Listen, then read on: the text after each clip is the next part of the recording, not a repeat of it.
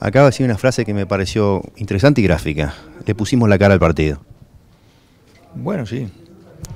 Este, relativizando eso, que aunque pusimos la cara, desde el punto de vista de la actitud y el esfuerzo, eh, sin lugar a dudas. Desde el punto de vista futbolístico, este, quizás no tanto, pero se explica porque no tenemos, vamos a decir, la estructura de equipo que puede tener un Costa Rica que está en una situación como en la que nosotros estábamos hace cinco años, eh, con una misma estructura básica este, dada por los mismos jugadores que se repiten, que tienen afinidades y que supera el, paso de los entrenadores, obviamente. Eh, y bueno, nos vamos mal porque le damos mucha importancia a estos partidos, siempre decimos eh, juego, comportamiento y resultado. Este, creo que por el momento el juego lo hicimos, creo que hubo corrección en el partido, eh, el resultado es negativo, pero no me quedo solo con eso. Eh, hoy terminamos jugando el partido con cinco jugadores totalmente nuevos y además había algunas cosas que en el futuro, y espero que no sea muy lejano, este, pueden ser este, aprovechables para la selección.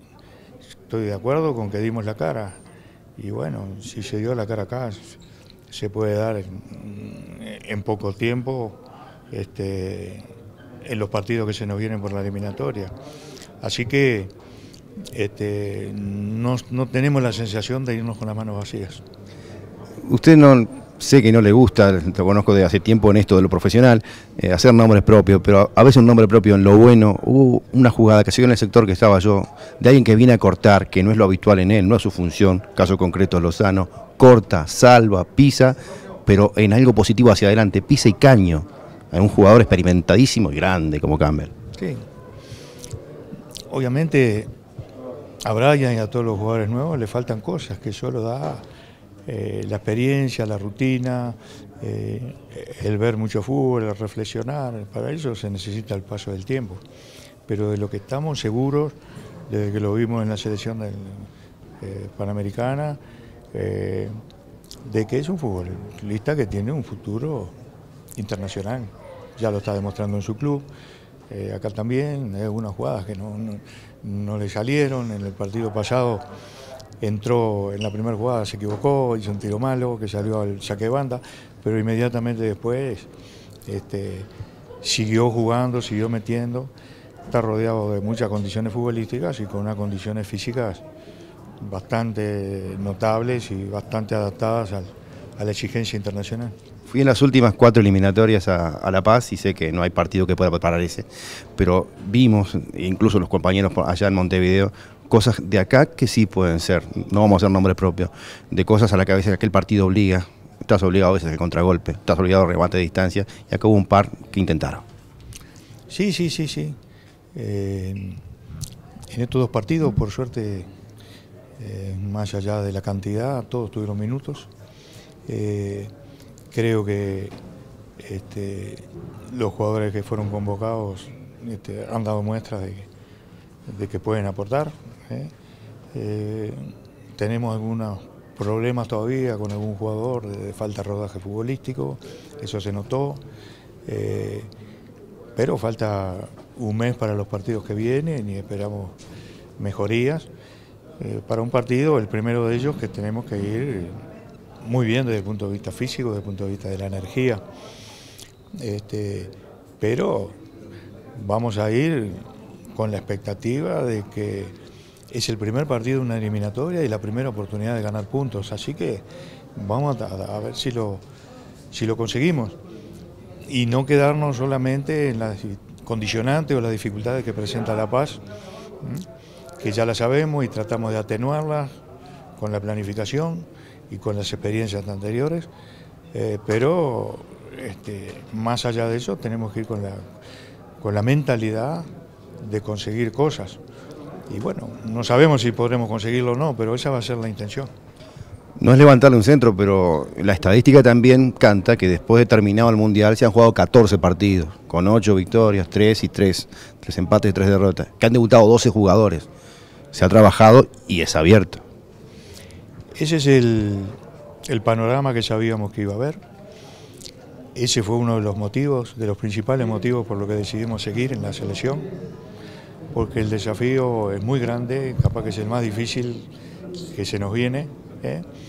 Y bueno, preferimos eso a la opción de, bueno, conseguimos tal cosa, me retiro, pero este, yo creo que hay que seguir encarando las cosas. Eh, creo que en este grupo el relacionamiento es bueno y estamos todos tratando de, conseguir lo que queremos. Eh, y bueno, y vamos, vamos a hacerlo. El camino que, que intentamos es el de la planificación, el de la coherencia, saber que las cosas llevan tiempo, tratar de hacerlo lo correcto. Obviamente, lo tenemos que hacer, como decía un gran entrenador, cerrando los esfínteres, principalmente si es que los hay ahí en los oídos, porque hay gente que lo vive y, es legal, eh, con pasión, este, tiene sus opiniones, sus preferencias, y el camino que proponen es el de citar para cada partido a algún jugador y sacar la, eh, la planificación y los procesos de trabajo que tienen que ver mucho con incorporar jugadores jóvenes, porque esto, la eliminatoria, este, yo qué sé, para poner el ejemplo de uno que debutó hoy, Nández, si termina la eliminatoria va a tener como 23, 24 años. ¿Entiendes? Y si en ese periodo se va consolidando, ya eh, todos esos futbolistas que están en esa situación entran en, eh, en una faja de edad que es de, alto rendimiento y bueno, eh, lo que hay que procurar hacer es lo más difícil, que es clasificar para el Mundial pero en eso estamos y todavía no, no sabemos, no tenemos la certeza ni tampoco la resignación de decir que lo vamos a conseguir o no lo vamos a conseguir. Sí le vamos a poner todas las ganas y fundamentalmente tratar de mantener la coherencia. Somos anteriores a las famosas redes sociales, desde el anonimato y el apodo se pegan algo que antes, por ahí en los 80 uno buscaba, mantener nombres, e ir incorporando, y ahora a eso se le pega como si fuera club de amigos. Bueno, sí, este, eso se dijo de hace mucho tiempo.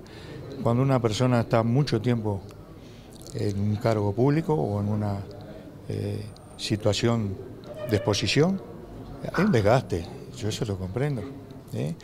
hay un desgaste grande, pero ninguna vanidad aparte, yo soy, trato de ser muy objetivo aún con las cosas que, que me involucran a mí, donde tendría derecho a toda la subjetividad. Eh, no puede confrontarse una opinión de un anónimo que dice cualquier disparate a veces con un entrenador que dirigió 152, 153 partidos en una selección. Este, no le pueden sugerir nombres a un entrenador que dirigió a Tevez, a Batistuta, eh, a Roberto Ballo, a Francescoli, a Sergio Martínez. Algo uno tiene que haber este, vivido o aprendido ¿eh? Y puede ser que uno acierte o no acierte, pero de ahí a aceptar que a uno lo lleven de la nariz, no, eso sí que no. ¿eh? Y además en el fútbol, lo que va a marcar la cosa para nosotros, que sabemos que va a ser así, son los resultados. Eh, y bueno, si son los resultados positivos, podrá haber ruido, pero de otro tipo. Y si son negativos, yo qué sé, ya se sabe lo que puede pasar en el fútbol cuando los resultados son negativos, pero nosotros en este momento la estamos peleando, es lo que sabemos los integrantes de la interna del grupo. Lo de afuera, lo dijo alguien de qué son, ¿no? Antes que yo.